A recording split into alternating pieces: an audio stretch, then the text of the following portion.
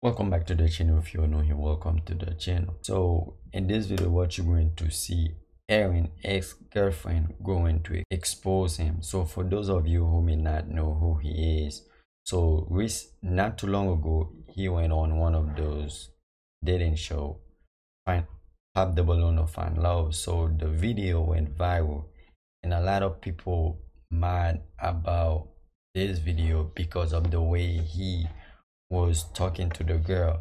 So according to him, 500 people called called his job, and now he's jobless.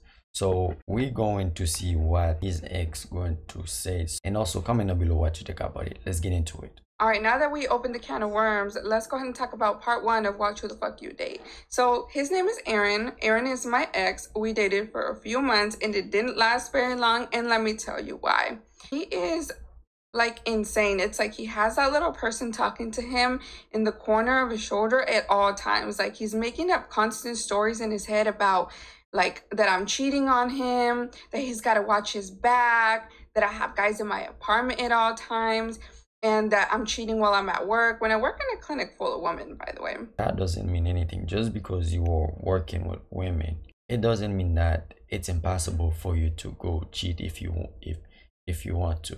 Let's keep listening. Well, let's take it back to to the beginning. So again, we met. I lived in Arizona. He lived in New Mexico, and he said, "Oh, I have a friend that lives in Arizona. I was actually just there." I was like, "Oh, dang. Well, whenever you're down here again, let's grab dinner or whatever." He's like, all right. He ended up coming and his plan was to end up moving to Arizona anyway with his friend, right? He ended up at my house so much anyway that I was just kind of like, mm, I mean, you kind of already live here. His clothes was there, everything. So I was like, fuck it, just, you know, that was my mistake. So uh, my mom ends up making dinners for us all the time. We're Mexican. We make huge dinners. And the first time he went, he met the family and everything was cool. But when we left, my mom called me and she said, Are you okay? And I said, What do you mean, am I okay? She said, Well, I see something in his eye like he wants to hurt you or like he wants to control you. I don't know how to tell you because I don't want you to think that I'm crazy, but I'm just telling you to be careful and really think about if this is the guy that you really want to be with. And I was like, Well, I'm, I mean, it kind of is already in motion, you know, it's already happening. So then my mom invites us over for dinner again. I think it was the next day, and we play loteria. And um, I guess he was just like, "No, I don't want to go." Like he he started little by little, kind of not not like not wanting to be around my family. And I don't know if he noticed that my family didn't really like approve of him or whatever. I'm not too sure. But anyways, that was a red flag number one. It's kind of like he was already trying to distance me from my own family. You know, like the only protection that I have had is from my family, and he was trying to move me away. Why are you trying to date somebody that you know this person you are not safe on that person? Why did you choose to date that person? This doesn't make sense. Something is missing. But let's keep listening. So when I first started talking to him, I was talking to other people as in I had a lot of guy friends. And I don't hang out with too many girls because sometimes it can get overwhelming and a lot of drama can start. So they would still text my phone and um, of course I talked to somebody else before I met him too. It kind of just ended up going in the direction with Aaron. She doesn't have many female friends. Most of her friends are male friends. So she really think he's going to be okay with that she has so many male friends. So you don't think he gonna think that why do you have so many male friends? Why you don't have any female female friends? This is a red flag. But let's keep listening. And so they would text my phone and he would check my phone every few hours. Every time a vibration would go off every time i'd get a notification he's looking at me like he wants to like literally do something to me. I don't know what was going on. It's just that look in his eyes and you guys know because you have seen that look in the okay this is why this is kind of creepy. So every time something or your phone make a sound you wanted to see what who texted you or what is going on.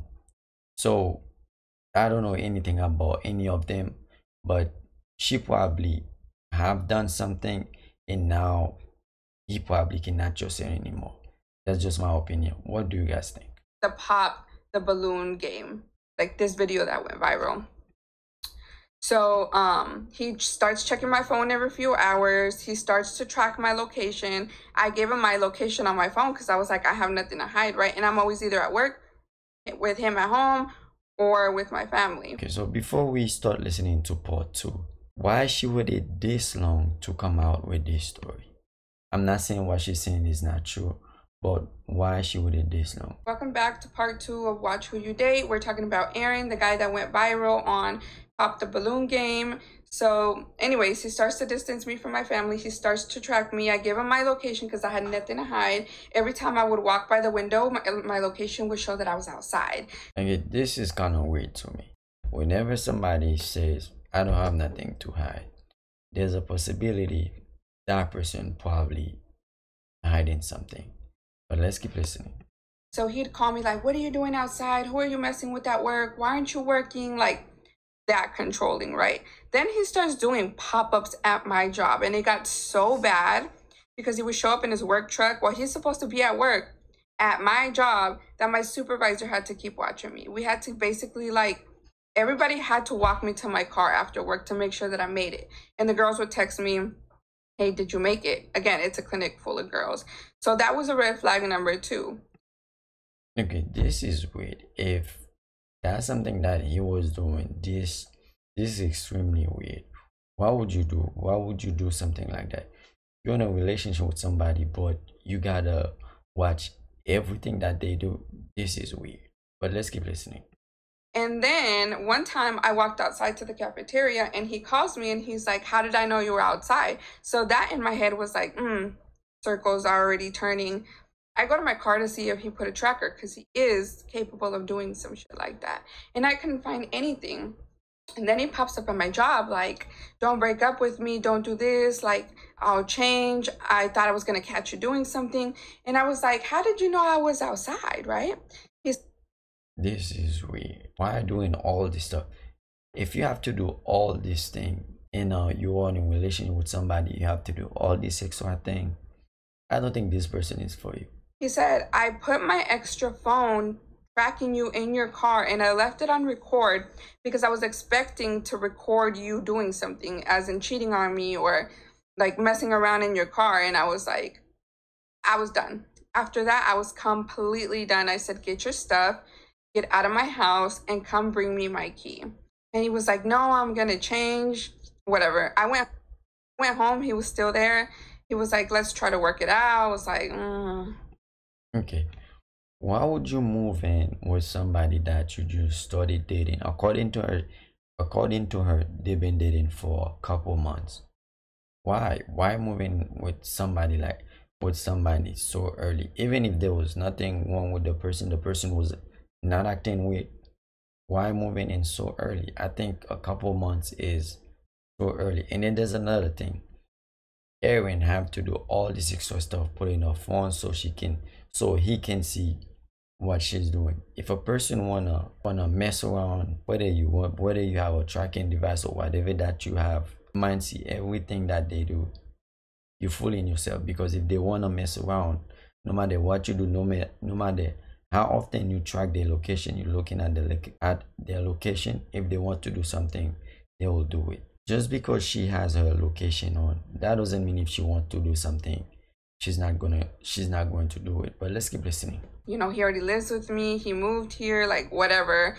And that and then it was going i was going to do it so bad. And then i he went to go get coffee for me or something from starbucks and he was like something's wrong with your car and i was like what do you mean something's wrong with my car he's like yeah it started to act weird and i was like okay hold on right there my car, I have a 2019 Dodge Challenger. It's been perfectly fine. I kept up with the oil. I don't understand. All of a sudden, you're driving it and something's wrong with it. Not saying what he did was right, but something is not adding up. Part that I'm gonna post about Aaron, the buff guy from Pop the Balloon Game, and Watch Who the Fuck You Date. So, um, he was like, Yeah, your car's acting funny. I was like, No. At that point, I was like, Already get out of my house. Like, I don't want you here. You ain't paid one bill. You put $20 a light one time, and maybe you spent like $30 on groceries because I was gonna cook dinner one time, but my mama always told me do not allow a man to come into your home and pay any bills because then he's gonna feel like he has the right to either stay there or like, oh, I paid the rent, I live here too. But in our reality, everything that I that I had gotten was mine, and I didn't allow him any part of that. Don't ever move in with a woman. It should be the other way around. Let her move in with you. Now you're moving with her, right? So now let's say she is mad. What exactly do you think going to happen? You're going to tell you pack your shit and get out because your name is not on the list. She she has the right to kick you out at any time. So please do not move in with a woman. Let her move in with you instead. Let's keep watching. So um, I was like, all right, get out, whatever. He leaves. Um, he still tried to contact me. I was like, no, get out. I grabbed my car. I went to my mom's house because I didn't want him to try to come back and to try to convince me and um, that's what brings to like my mind all the time. Like you guys tell people in abusive relationships all the time like you need to leave you need to leave thinking that it's easy for these women to leave. And it's not like yeah they've they've gotten hurt or whatever but these women are completely head over heels in love with these men. So it's not easy to leave. So i did what i thought was best. So i went to my mom's house right after and he's calling me like, dang, you're already at somebody else's house. You're already cheating on me. I was like, whatever. And on my way to my mom's, I start to feel that my car is starting to shake. I'm like, dang, like, what is it? I took it to two different mechanics that were like, it was the spark plugs, the ignition coils. I fixed that. And then I went to another mechanic because it started to shake again.